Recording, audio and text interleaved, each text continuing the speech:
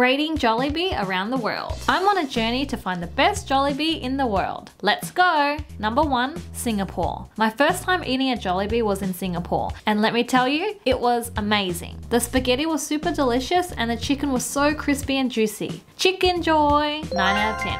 Number 2. Hawaii. We were in Hawaii and came across a Jollibee. I didn't know there was one here. This was also the first time I tried the peach mango pie. I really enjoyed it. 8.5 out of 10. Number three, Philippines. This is where Jollibee started. Everyone told us that Jollibee in the Philippines is the best. They have a huge variety of items and it was all so tasty. The chicken was delicious and the highlight for me was that the spaghetti came in a family pack. So, so good. 9 out of 10. Number 4, Vietnam. We also tried Jollibee in Vietnam and I don't really recommend it. But we did see Jollibee dance and that was lots of fun. 6 out of 10. When is Jollibee coming to Australia?